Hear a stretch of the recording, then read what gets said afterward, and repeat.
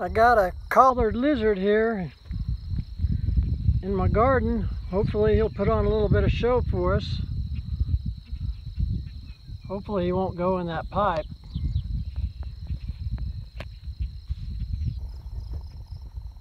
There he goes.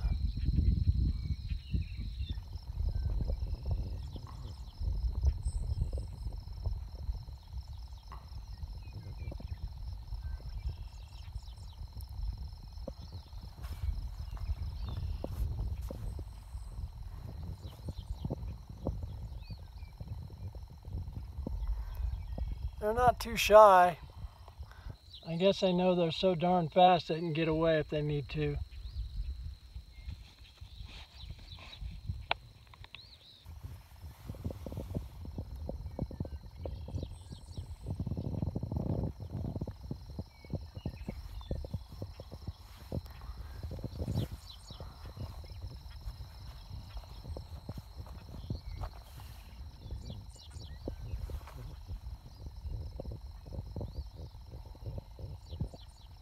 Well, that's all for now.